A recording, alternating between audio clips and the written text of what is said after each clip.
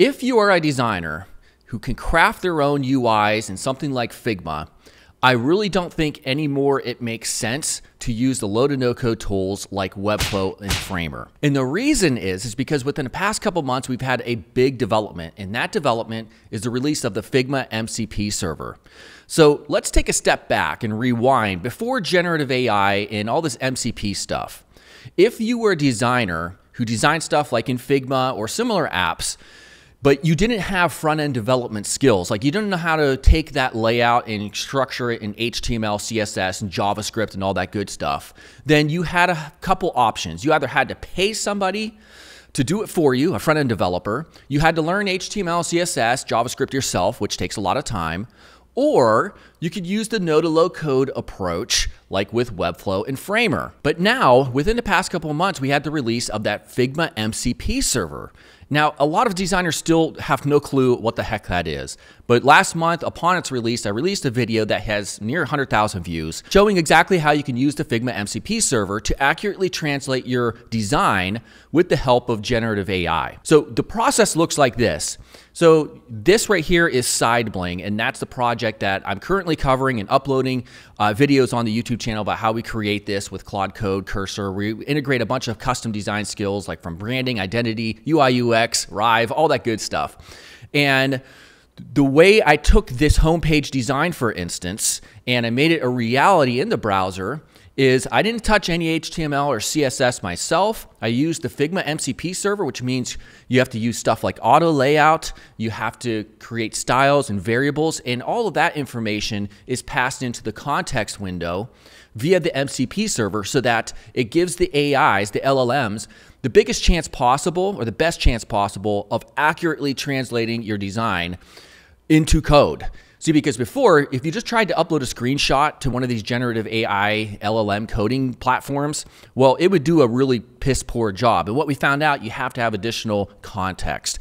And so that's what the Figma MCP server does. So now there is another option for those designers who already know how to design layouts, like in Figma, to realize their layouts in the browser, and that is through the MCP server of Figma. As long as you're willing to take the time to set up your auto layouts correctly and understand how that works, along with attaching variables to the different numeric values such as margin, spacing, padding, all that good stuff, and as well as style variables and variables in other places, well, when you select that frame, you port it over guess what? I found myself, and I've used it several times, it does a, a, good enough job to where it's pretty much 90% ready to go. And then you can really just prompt the LLM thereafter to fix any other issues with the layout. So to me, this begs the question, especially with all the crap that's just happened within the last 24 hours with Webflow being down for hours upon hours upon hours. And people were freaking out, understandably so.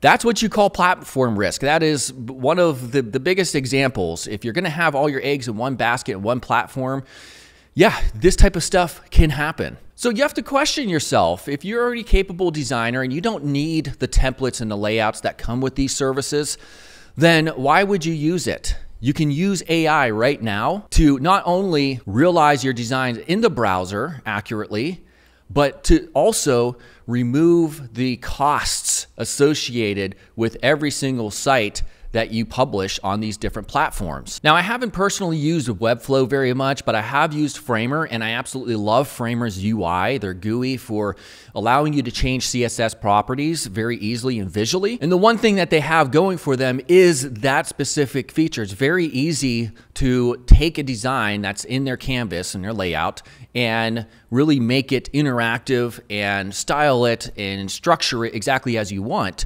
And that's one of the big things that a lot of the vibe coding platforms miss big time. Yeah, they can generate layouts and designs for you, but if you try to edit them thereafter in their little GUIs, like a lot of times, many CSS properties are missing and you really don't have full control over them. So if I were a tool like Framer, Webflow, etc., I would be integrating the Figma MCP approach And in that way, at least once you have it ported over, then you have very minimal work in terms of trying to tweak the design. Because currently, like in Framer, you can import a Figma design, but then you have to manually use their GUI in order to make everything, you know, behave and respond as you wish. But if they integrated with the Figma MCP server, and again, technically, I don't know if they would be able to or not, but it would really take a lot of that initial legwork out of the equation. And then that way, if you wanted to make adjustments thereafter, after the design's imported, then you can use their GUI, which would be a definite benefit over current tooling. But I'm telling you, in the very near future, there's going to be different tooling that will be integrated with things like Claude Code and Cursor that will allow you, in perhaps in a visual manner, kind of similar to how Framer allows you to adjust your design that's pulled in from the Figma MCP server and do so without having to manually type out a prompt in order to make these adjustments. So let me know what you think in the comment section below. I think these tools are great but there is a definite platform risk. There's almost always people complaining about the pricing structure.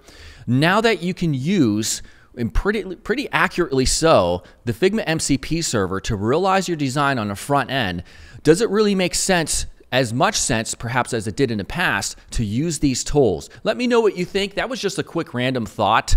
We're going to get back to that side billing project very soon, so make sure to subscribe up to follow along about exactly with how I'm using the Figma MCP server to make a full, robust app. I will see you all very soon. Goodbye.